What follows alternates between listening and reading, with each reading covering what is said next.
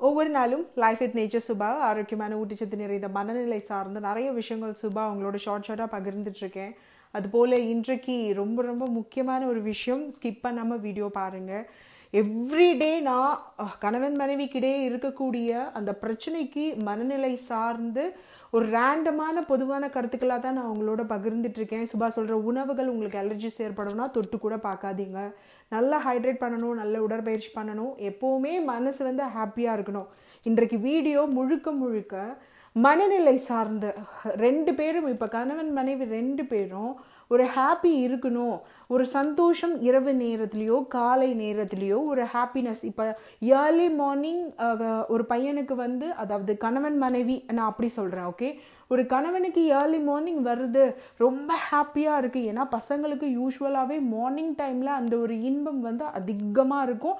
டொட்டடாயின்னு நிற்கும் அது இயற்கை தான். அதில் எந்த ஒரு மாற்றமும் இல்லை. அவங்களுக்கு உடம்புல இருக்கக்கூடிய அந்த ஹார்மோன் செய்கிறது மார்னிங் நல்ல ஒரு நின்றுக்கிட்டே இருக்கும். அந்த நேரத்தில் மனைவினால் ஒரு சந்தோஷம் கொடுக்க முடியாத ஒரு பட்சத்தில் மென்மையாக தன்மையாக அந்த பையனோட மனசு புரிஞ்சுக்கிட்டு அதுக்கேற்ற மாதிரி நீங்கள் ஒரு சந்தோஷம் உங்களால் கொடுக்க முடியும் அப்படின்ற பட்சத்தில் கொடுக்கலாம். இல்லை முடியாது அப்படின்ற பட்சத்தில் அந்த இடத்துல ஒரு தன்மையாக தான் நீங்கள் வந்து பேசணுமே. மனசு எப்போவுமே டக்கு டக்குன்னு வந்து ரொம்ப சீக்கிரமாக ஒரு ப்ராப்ளம் வந்து சீரியஸாகவே இந்த நரம்பு என்ன பண்ணோன்னா டக்கு டக்குன்னு மாற்றிக்கிட்டே இருக்கும். ஸோ விபரீதம். எப்படின்னா நான் எப்போ கேட்டாலும் நீ இப்படி தான் ஸ்கிப் பண்ணுற அப்படின்ற அந்த ஒரு ஏக்கத்துக்கு தள்ளப்படுற மாதிரி. சில விஷயங்கள் இவ்வளோ மென்மையாக தான் சொல்ல முடியும். அதே போல் ஒரு மனைவிக்கும் ஒரு ஆசை இருக்குது ஒரு ஏக்கங்கள் இருக்குது தன் கணவர்கிட்ட தான் கேட்க முடியும் அப்படின்ற பட்சத்தில் அவள் உரிமையோடு கணவன்கிட்ட கேட்கும் பொழுது நீங்கள் அந்த இடத்துல ஒரு புரிதலோடு எவ்வளோ பிஸியாக இருந்தாலும் ஒரு அஞ்சு நிமிஷம் பத்து நிமிஷம் ஒரு இம்பார்ட்டன்ஸ் கொடுக்கறதுக்கு முயற்சி பண்ணுங்க பசங்களா.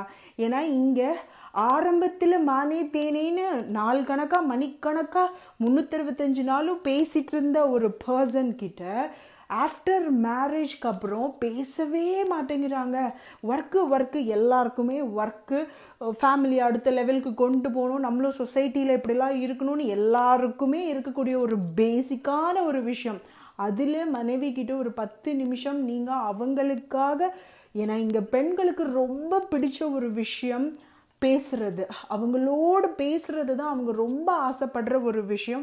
இது மனநிலையில் பாருங்கள் ரொம்பவே ஒரு புரிதலை கொடுக்கும். சுபா சொல்கிற விஷயம் கிளியராக உங்களுக்கு புரிஞ்சிருக்கும் ஹோப்ஃபுல்லி நினைக்கிறேன். ஒருத்தருக்கு ஒருத்தர் கணவனாக இருந்தாலும் மனைவியாக இருந்தாலும் புரிதலோடு தான் அங்கே பரிமாற்றம் நீங்கள் அந்த கட்டிலில் கொடுக்கணும். அப்போ தான் சந்தோஷம். மேக்ஸிமம் இங்கே பிரச்சனையே கட்டிலில் தான் ஆரம்பிக்கும். சரியாக பண்ண மாட்டேங்கிறேன் நான் கேட்குறது கொடுக்க மாட்டேங்கிறேன் எனக்கு முழுமையான ஹாப்பி இல்லை முழுமையான திருப்தி இல்லை முழுமையான சந்தோஷம் இல்லை நான் எதிர்பார்க்குற மாதிரி நீ பண்ண மாட்டேங்கிற. இந்த மாதிரி ஸோ மெனி எஸ்கியூஸ் அந்த இடத்துல ஸ்டார்ட் ஆகி ஸ்டார்ட் ஆகி என்ன ஆகும்? நீ சரியாகவே செய்ய மாட்டேங்கிற அப்படின்ற ஒரு கோணத்தில் வந்து நின்றோம். அதுக்கப்புறம் அது பெரிய பிரச்சனையாக விரிசலோடு அப்படியே ஒவ்வொரு நாளும் கடந்து போய்கிட்டே இருக்கும்.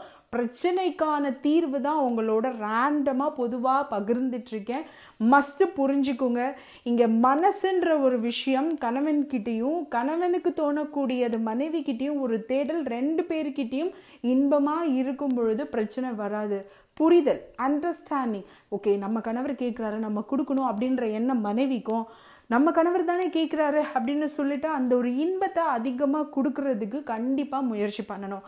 அதே போல் வீட்டுக்குள்ளேயே சந்தோஷம் இருக்குன்ற ஒரு புரிதலை ஃபஸ்ட்டு புரிஞ்சுக்குங்க. இதுதான் ஒரு பேசிக் வீட்டில் சக்கரை பொங்கல் கேசரி பாயசம்னு தித்திக்க தித்திக்க நீங்கள் கேட்க கேட்க பண்ணி கொடுக்கறதுக்கு இருக்கும் பொழுது நீங்கள் வெளியில் மூன்றாவது நபர்கிட்ட அது என்ன தான் நீங்கள் வரவே வராது. ஓஃபுலி புரியுதா? ஸோ வீட்டில் ஹெல்த்தியாக ஆரோக்கியமாக கணவன் மனைவி ஹாப்பியாக செலிப்ரேட் பண்ணுங்கள் அதை விட்டுட்டு நீங்கள் மூன்றாவது நபர்கிட்ட வரும் அப்படின்னா வரவே வராது. அது தேவையில்லாத பிரச்சனைகளும் நோய் தொற்றுக்களும் தான் இன்ஃபெக்ஷன்ஸ் கொண்டு வந்து விட்டுச்சுன்னா என்ன பண்ணுவீங்க? ஸோ இந்த மாதிரி ஒரு ப்ராப்ளத்துக்கு ஃபுல் ஸ்டாப் வைக்கணும்னா வீட்லேயே கணவன் மனைவி உட்காந்து ஒரு பத்து நிமிஷம் அதிகபட்சம் ஒரு பத்து நிமிஷம் என்ன பிரச்சனை ஏன் இப்படி நடக்குது எதனால இப்படி நடக்குது இதுக்கு என்ன தீர்வு எப்படி இதை சால்வ் பண்ணலான்னு ஒருத்தருக்கு ஒருத்தர் பேசி ஈஸியாக அந்த கொஸ்டினுக்கு ஆன்சர் விடையை எடுத்துடலாம். உட்காந்து பேசணும். பிரச்சனையாகுது. ரொம்ப ஆக்ரோஷமாக பேசுகிறாங்க மென்மையாக ஒருத்தர் பேசும் பொழுது ஒருத்தர் கேட்கும் பொழுது சீரியஸாக மனநிலையில் பாருங்கள் நான் பேசின இந்த வீடியோ எல்லாமே மனநிலையோடு பிறந்தக்கூடிய ஒரு விஷயம். கத்துறாங்க ஆக்ரோஷமாக பேசுகிறாங்க ரொம்ப வாக்குவாதங்கள் வருது அப்படின்னா ஒருத்தர் அந்த இடத்துல அமைதியாக விட்டு கொடுத்து போகும் பொழுது பிரச்சனைக்கான தீர்வு சீரியஸாகவே கிடைக்கும். நானும் பேசுவேன் நீயும் பேசுவேன் அப்படின்னா பிரச்சனை தான் அதிகமாகும். ஸோ கணவன் மனைவி ஹாப்பி தித்திப்போட என்றைக்குமே ஸ்வீட்டாக இருக்கணும் அப்படின்னா ஒருத்தருக்கு ஒருத்தர் விட்டு கொடுக்கணும். மனசு விட்டு பரிமாற்றத்தோடு இருந்தால் பிரச்சனையே கிடையாது. நீங்கள் வீட்டில் கிடைக்கல திருப்தி இல்லை சந்தோஷம் இல்லைன்னு வெளியில் போகும் பொழுது இன்னும் பிரச்சனை பெருசாக தான் ஆகுன்றத மஸ்ட் புரிஞ்சுக்கோங்க. கிளியர் ஆகிருக்கும் நான் நினைக்கிறேன். சீரியஸாகவே இங்கே கருத்து வேறுபாடுகள் கணவன் மனைவி கிட்ட இருந்து தான் சரியாக பண்ண முடியல சரியாக செய்ய முடியல. மேக்ஸிமம் இங்கேருந்து தான் ஆரம்பிக்குமே. விட்டு கொடுத்து போகிறது இல்லை. யோசிக்கிறோம். நீ தான் கேட்கணும். நீ தான் முதல்ல வந்து பேசணும். நான் வந்து பேச மாட்டேன். அப்படின்னு ரெண்டு பேரும் ஈகோ பார்த்துட்டு ஒருத்தருக்கு ஒருத்தர் நீ முன்னாடி பேசுனா முன்னாடி பேசுனா ஒரு சாரி சொல்கிறதுக்கு கூட அவ்வளோ தூரம் யோசிச்சு ஆ நீ சொன்னால் சொல்லு சொல்ல கட்டிப்போ இந்த மாதிரி எடுத்தறிஞ்சு பேசும் பொழுது அந்த இடத்துல தித்திப்பு மலருமா? சீரியஸாக மலராது. கசப்பு அதிகமாக குடுத்துக்கிட்டே தான் இருக்கும். கசப்பும் நல்லது தான் நான் வேண்டான்னு சொல்லலை. ஆனால் அளவுக்கு மீறி இனிப்பும் போனாலும் பிரச்சனை கசப்பு போனாலும் பிரச்சனை. மீடியமான லெவல் இனிப்பு ஐம்பது கசப்பு ஐம்பது. இப்படி லைஃப்பை வந்து fifty fifty equal share balance பண்ண பழகிக்கிட்டிங்கன்னா பிரச்சனை இல்லைன்னு தான் நான் இந்த வீடியோவில் இவ்வளோ டீட்டெயிலாக நான் சொல்கிறேன் ஏன்னா இப்போ இருக்கிற நாட்களில் நிறைய விஷயங்கள் கணவன் மனைவியாகவே இருந்தாலும் ஒருத்தருக்கொருத்தர் பர்மிஷன் கேட்டுக்கோங்க. எனக்கு இன்றைக்கி ஹாப்பி வேணும். உன்னால் முடியுமா? இன்றைக்கி உனக்கு ஹெல்த் ஓகேயா மனசு ஹாப்பியாக இருக்கியா? ரிலாக்ஸாக இருக்கியா? அப்படின்னு எக்ஸட்ரா எக்ஸட்ரா அவங்கக்கிட்ட கேளுங்க. கணவன் மனைவி தானே. ஸோ நீங்கள் மனசு விட்டு கேட்கும் பொழுது இன்றைக்கி பண்ணலாம் இல்லை நாளைக்கு பண்ணலாம் இல்லை ம ஒரு மாதிரி உடம்பு சரியில்லாமல் இருக்கா. அவங்களுக்கு என்ன பண்ணுதோ அதை வந்து கிளியராக பகிர்ந்துப்பாங்க. சி கணவன் மனைவி நம்ம சாப்பாட்டுக்கு எந்த அளவுக்கு இம்பார்ட்டன்ட் கொடுத்து நம்ம ஆரோக்கியமாக மெயின்டைன் பண்ணுறோம் மனசுக்கும் இம்பார்ட்டன்ஸ் கொடுங்கன்னு தான் நான் இந்த வீடியோவில் சொல்கிறேன் புரிதலை ஏற்படுத்துங்க. மஸ்ட்டு ஒருத்தருக்கு ஒருத்தர் கணவன் மனைவி தித்திப்பா? நான் எங்கேயோ ஒரு வீடியோ பார்த்தேன்.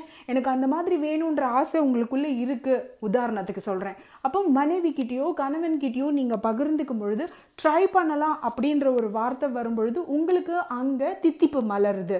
இப்படி தான் வாழ்க்கையில் ஒருத்தருக்கு ஒருத்தர் மனசு விட்டு பகிர்ந்துக்கும் பொழுது தான் அங்கே மனசில் உன் மனசில் என்ன நினைக்கிறேன்? என் மனசில் இப்படி இருக்குன்றதுக்கான விடை உங்களுக்கு கிடைக்கும். ஸோ தேவையில்லாமல் வீட்டில் பொக்கிஷமாக இருக்கக்கூடியதை விட்டுட்டு வெளியில் மூன்றாவது நபர்கிட்ட கிடைக்கும்னு தயவு செஞ்சு எதிர்பார்க்காதீங்க. அது ரொம்ப பெரிய பிரச்சனை. இன்னும் பெருசாக தான் கொண்டு போய் விட்டுன்ற ஒரு புரிதலுக்கு தான் நான் இவ்வளோ டீட்டெயிலாக நான் உங்களோட பகிர்ந்துக்கிறேன்.